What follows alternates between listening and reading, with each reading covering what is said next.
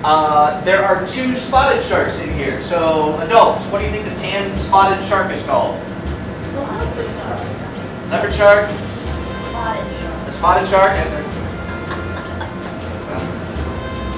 This is actually where the biologist got a little creative. It's actually called a zebra shark. Like, wow, a tan spotted shark, a zebra shark. Why? Uh, because when they're pups and they're small, they're born into grass beds, and they are indeed black and white striped. So it camouflages them really well. As they grow up and move out of the grass beds into the sand beds, they actually change their colors to match the bottom. So those are both uh, zebra sharks, and they're from the Pacific. There's a male and a female. Campers, is this the male or female swimming by? Male.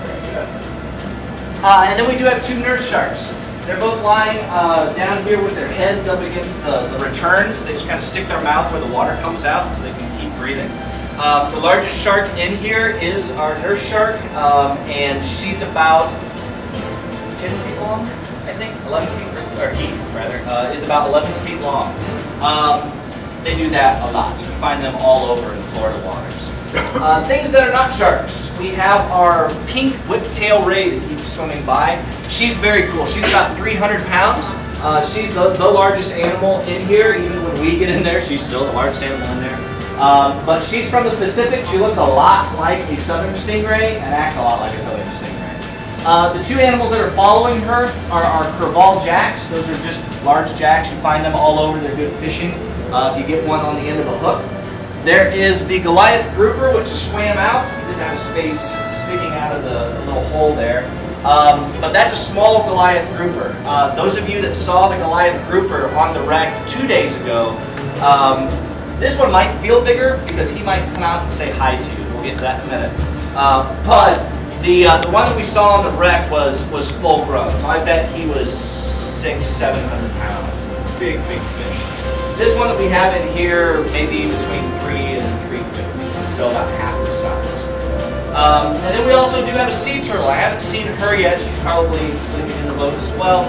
Um, she's a, a, a non-releasable rehab sea turtle. She got caught in fishing line and had to have her two front flippers amputated. So she can't be released, but she's otherwise very healthy, and you'll see her swimming around. Um, so those are all the animals. Any questions on the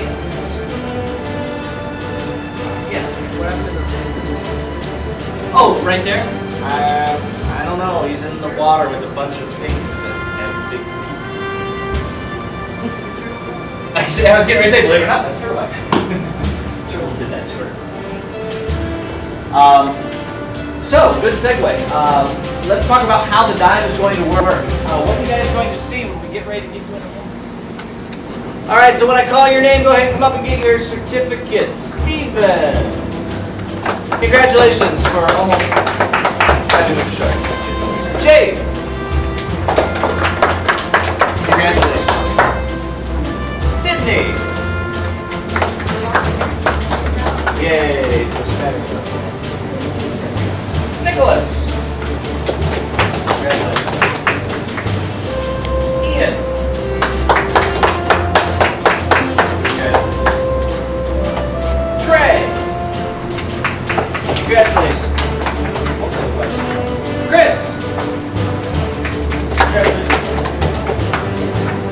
Jeremy. Now, here's the deal. We're giving you a small tank today. Yeah, pressure's on. Adam, Adam was our air Adam destroyed more air. We had to give like six or seven tanks. But he had excellent air consumption yesterday. So keep that up today. And